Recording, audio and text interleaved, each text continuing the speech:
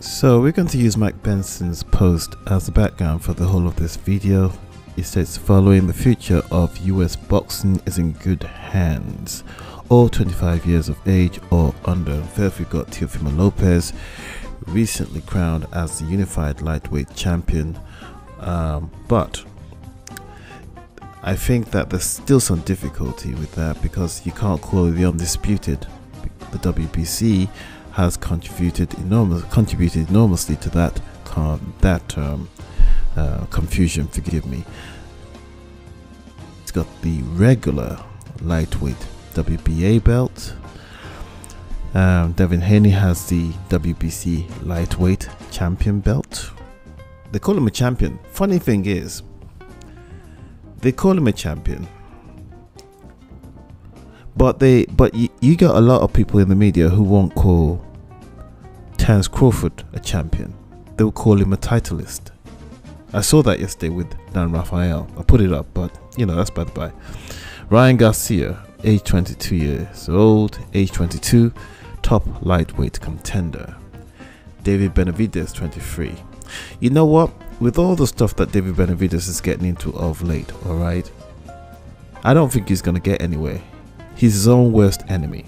That Benavidez family are their own worst enemy, and if they, I believe he actually left Arizona. He left Arizona to go and train for uh, the fight he had, in which he, he had to lose his belt because he didn't make weight or something like that. He had to drop the belt. Um, you know, I, I don't think they should keep on putting him up there as if he's got something special to contribute. He hasn't. You know what I mean? This is about the second time. It's, it's either cocaine or something else. He's a mess. You know what I mean? And, uh, you know, they've got, they got to stop flattering David Benavidez by putting him up there amongst all these rather small kids over here and saying that he's doing something. He's been around for a while. And quite frankly, it's pretty obvious that he's a fuck up. Shakur Stevenson, 23 years old, same age as Benavidez, by the way. Vergil Ortiz, 22, very promising, and of course, one of the most promising of them all, Jaron Ennis, Jaron Boots Ennis, age 23. I'd like to see him against, uh, placed against better opposition for me to actually say like, oh yeah, he is the shit, but he looks like the shit right now.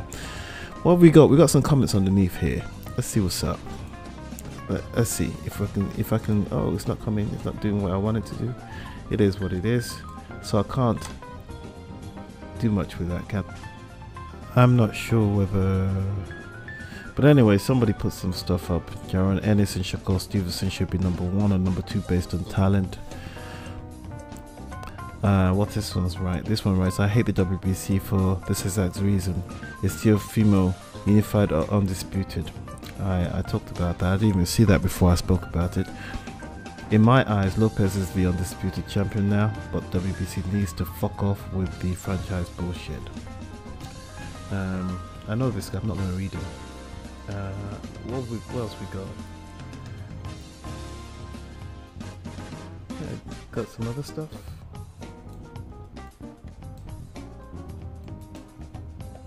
This one uh, was? Where's Chris Colbert?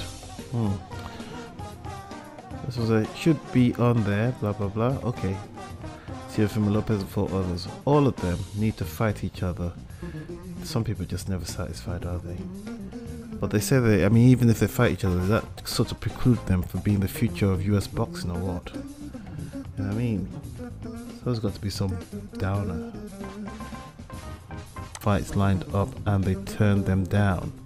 Just because Garcia is TikTok famous doesn't mean he gets to skip the process and get placed into a title fight, into a title fight while receiving 50% pay. Okay somebody's been paying a great deal of attention to the inner workings of Golden Boy Promotions and Ryan Garcia. Hey, this is Stan Sargent. All right, uh, Gervonta Davis batters his bird. Once you see that, that's a British guy. Batters his bird. Devin Haney only the champ by email. Ryan Garcia got to get battered by, gonna get battered by Campbell. You see, once you actually write that right there, you just know he's a British git about to get backed by Campbell. Are you sure? Are you sure? He's not gonna get battered. He might even just he might win it. Campbell might win it, but get battered. Man, this is why I can't really, you know, the hyperbole these British fan boxing fans. They're probably the worst. I mean, they're most enthusiastic sometimes and most passionate, but they're also fucking retarded. All right, what else we got? Um, this old guy will beat any of the young asses. Of course he will, especially if he's doped. He's talking about Pacquiao. I mean, let's not act like this is some sort of special you know, kind of shit that Deontay Wilder was on about. I'm special, my grandmama. You know what I mean? The same thing they did with Pacquiao too. But I think Pacquiao was fucking spiking his drinks in a positive manner. All right, moving on. It says this one says uh, I would rank these guys based solely on talent: Teofimo Lopez, Shakur Stevenson, Devin Haney, Gervonta Davis. Fuck this guy. I'm not even gonna say his name. Vergil Ortiz, Jaron Ennis, Ryan Garcia. What what what special talent do Benavidez even have? They need to stop fucking blowing smoke up Benavidez' ass, man. Anyway, enough of that. Let's look at some other stuff.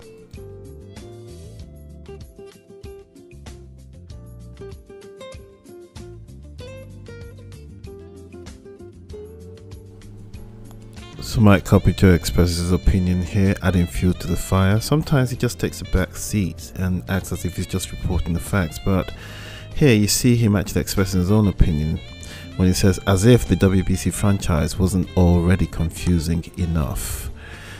Teofimo Lopez got a special WBC belt with franchise on it last night. So there is now a franchise belt and it's transferable? The more we learn, the more it just seems to be another WBA super slash regular shambles. Indeed. Compañeros mañana amigos de Latinoamérica en vivo desde el Mohegan Sun con la cartelera del año y por ESPN Knockout. It's showtime. Oh, Michael Montero must be in pain today, but he does have a point he does have a point, but I do believe, aside from however he might highlight the uh, tweets of a specific type of fighter, usually a black fighter, because that's what he does. He goes, you know, he he he does that. He highlights the opinions of black fighters if they go against his point of view, and then he wants to, I don't know, your typical white boy bullshit. Anyway, he says, man, everyone's shitting on Loma today, but in a way, I can agree with the fact that you can't have somebody like Shakur Stevenson, who more or less got popular as a result of what he of crying in the amateurs, as a matter of fact, then writing something like this. There's, a certain uh, cognitive dissonance, a, a sort of arrogance, as a matter of fact, that comes from that when you, Shakur Stevenson, nobody's really making the. I mean, it was based upon the fact that you were supposedly were crying uh, at the Rio Olympics and you were being scouted by Floyd at those Olympics that you came to prominence. Then Floyd didn't sign you. Then you went with um, Andre Ward and Jay Prince. But now you're writing something like this. Amateur pedigree is overrated when you are in the professional business is a whole different level. Seriously, you're gonna tell somebody like Lomachenko that. I mean, I know, I know, but not you of all fucking people. How long you been around? You haven't even even established yourself as a professional, as a true professional champion of some sort yet. I haven't I've seen anybody you've beaten that you weren't supposed to beat. What the fuck are you talking about? What have you actually done thus far to set you aside and set you apart, apart from beating the people you were supposed to beat anyway? Man, come on, man. I don't know. I don't know. But anyway, uh, Tony Bellew says different sports. Uh, what's this one said? Tony mate, you know the way we all condemned Deontay Wilder when he said he wanted to kill someone in the ring. How come you don't speak out about the season end ending injury that picked? I don't know. Fuck that shit. Who cares? I think he's talking about football. So coming back, then what's Douglas Fischer? Douglas Fischer? Yeah, I mean he's more or less um, he's uh Montel's homeboy, so they're gonna have a conversation there. Let's see what what what they on about. So Douglas Fischer writes, It's to be expected. His mere existence ruffled the feathers of some salty fans, and sadly, some fighters. All he did was fight quality competition and challenge himself. But some folks get mad that he received his due recognition for his skills and achievements. Well, that's one way to look at it. Many people disagree. Uh, Mike Mentor writes, 100% Doug, it's difficult to understand. The only thing I assume say is Loma represented a changing tide, and that scared some people who are afraid of change. You've been saying that for quite a while. That change never fucking happened, did it? Okay? You've been saying this since fucking Kovalev. Like, oh, the white Europeans are taking over from the black fighters and it scares them. Well, it seems to me they can't wish things to just happen, then it happened, is it? It seems to me they were right then. That these people, if you put it that way, if you put it that way, then it seems to me that a lot of people who were kind of skeptical and critical and see the way that Lomachenko just went out were right.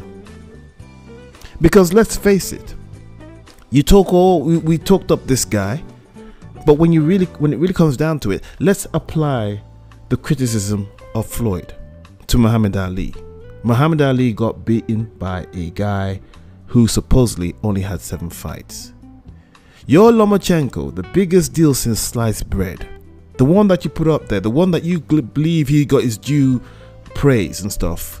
Let's look at it from a different perspective then. He got beaten by a 23 year old who only had 15 or 16 fights. The same amount of fights that he had, even though he didn't spend God knows how long in the amateurs, having 397 fights, with one, one of them being a loss. Okay? Three of them against the same person. It is what it is, man. So, Igor Clemens put this up. This is the uh, numbers board that Lomachenko uses, right? I guess not many people are going to pick that up nowadays. I mean, it's got letters as well. I didn't even know. It's got Loma. Okay, so it's got Loma there. You're supposed to find it. Is that it? Anything else? So it's just got Loma up there. I'm intrigued now. And okay, I find M A. Was it L? All right. I can't find it. I can't. I'm not really looking properly though. You know what I'm saying? I'm not really. Um, L A. Well, whatever, man. He lost.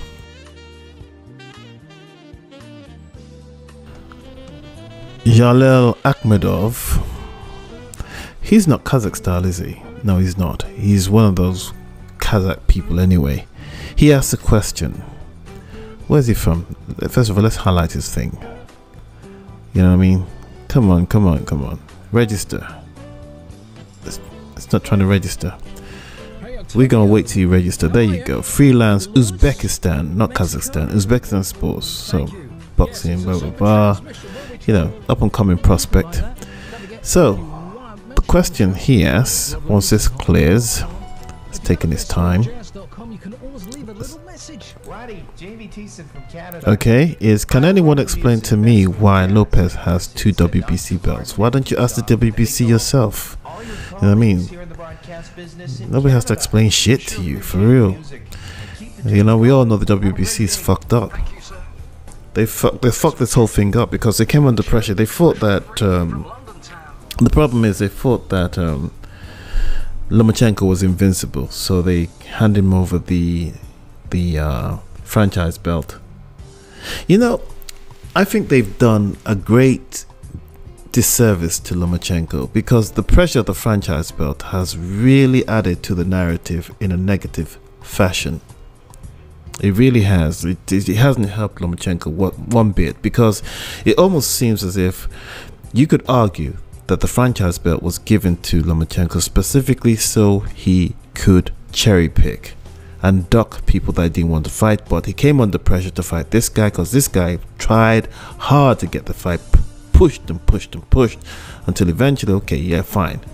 He had to break. He had to give the guy the fight. They were both on top rank. he told the guy to go get a belt. The guy wanted got belt. So okay, it became a unified thing. But you know, even at that time, they didn't think that uh, sorry Teofimo Lopez was going to win. So the franchise belt was sort of like not transferable. And then you know people, uh, what do you mean it's not transferable? Because they're giving this other belt to uh, Devin Haney.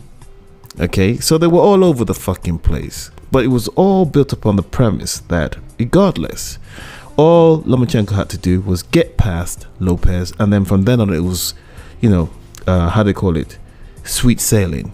You know what I mean? God bless her and all who sail in her type of thing. Open waters. He could do whatever he likes. He could become a sort of Canelo kind of character. You know, flip and choose and do whatever he likes. And when Canelo doesn't get the yield drain, he can sue for 280 million, all that kind of nonsense. But on this occasion, this is why I think it's actually quite good because this is a teachable moment. This is why this whole franchise thing is caused such a mess that you cannot expand on it. I don't think you can expand on the whole notion of a franchise belt after the kind of mess that this has caused with Lomachenko. It was always going to be uh, based upon the notion that you're creating a path, a legacy path for a fighter out of favoritism anyway. Out of this belief that you are sort of co signing and sanctioning the fact that he is above reproach somehow. And he's above mere, mere mortals, almost like a boxing god. And now you've handed it over to this guy here, Teofimo Lopez, and you're dissatisfied. Because he's a conqueror. He's come over and conquered your lands. and it's almost like you've let the infidels in amongst the true believers. That's why I I believe they're not gonna give him respect. He's not gonna get the respect. It is what it is. Plus, his father is somehow burnt a great uh, uh, uh, quite a few bridges. Um, it doesn't help that he doesn't give Lomachenko respect after the fact, ex post facto. Say he was a great champion. You know, Floyd used to do that. You got to learn to do things like that because you know it reflects on you as well.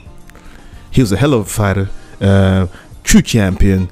Uh, I got nothing but respect for him, blah blah blah. But you're coming out there saying, "Oh, he was just basic. It was this. It was that." It's that. You know, you're tearing down an icon of many people. You want to be an iconoclast of that type in that divisive manner with a father who's just annoying anyway. Even if you want to call yourself Nostradamus or whatever. So. Uh, he, he, you know, truth is, let, let me just say to Teofimo Lopez. Teofimo Lopez I'm glad you got to this position and it's it's fantastic for you. But I think you need once you got here right now, you need to reconsider. If you can get this far and you're still asking, because I heard him in the interview saying that he doesn't know if his numbers are gonna go up. Dude, get the fuck away from top rank then.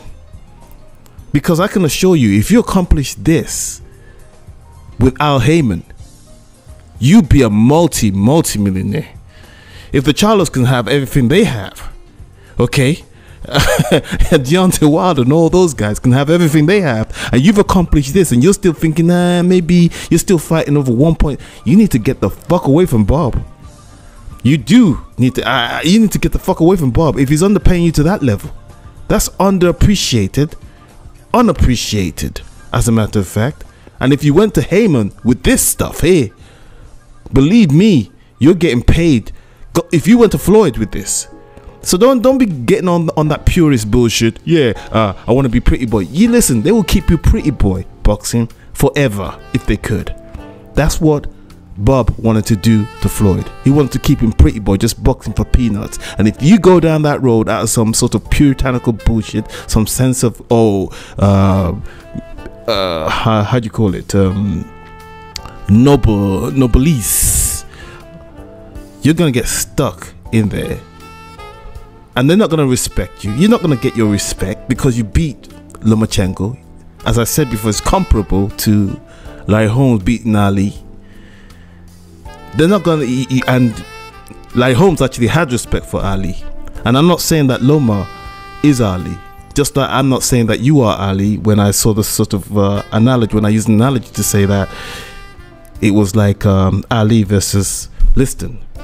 But I'm saying when you look at the circumstances, what's going on here, the politics is going to make you miserable after a while and it's going to bug you down and weigh you down. And uh, I really think you really do need to, after you've accomplished this with the sort of uh, at the back end of it, what I'm seeing, the grudging appreciation, the oh poor Loma, like you know, like like like the, like they've been sort of taken into slavery into into Babylon from Zion by the rivers of Babylon, crying that these motherfuckers are doing these Loma fans. Man, you, you I I guess you you better go with fucking Haymon. That's why I'm gonna title this video. Lomachenko got beat, but Teofimo, please contact Al Haymon. Yeah, I can't wait for the fight. It's definitely one of the best on the fall schedule. Great clash of styles with your volume punching against his punching power. Um, Lance mentions your close relationship with Al Haymon earlier, and in fact, your firstborn yeah. son is named after Al Haymon, right? Yep, it is. Yeah. can you can you talk about that special relationship you have with Al Haymon? Because obviously, us media members don't talk to him, and the fans only know what they hear with these rumors. But you know the man. yeah, no, I do. I know him really well. You know, me and him, we have a you know great connection.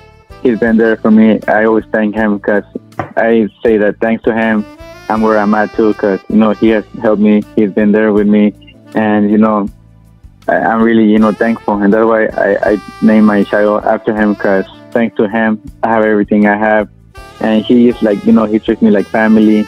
He he talks to me and it is you know great having him here. Ever since I signed with him, everything started you know coming out great. Uh, I started making money, and yeah, I owe it all to him. Yeah. What did he say when he found out that you were naming your firstborn son after him? Uh, you know, he was very happy. He he did that. I, I asked him for permission. I told him, hey, uh, uh, can can I name my, my son after you? And he was like, yeah, of course. Yeah, he, he got really happy, and he said that yeah, that I could name him, and ever since, you know, have been going great and, you know, we're, we're like family. No doubt about it, Leo. I actually heard a story today from someone who's uh, close to PBC, and they said that Al Haymon has kept everyone on the payroll all through COVID. That he's, you know, paid the people that that needed to be paid, and I mean, I know this guy. Yeah. He's not a guy who talks to the media, so we don't know him as well as we should have. But you, you do. Um, does that surprise you at all that he he takes those kinds of uh, measures to make sure that people are taken care of?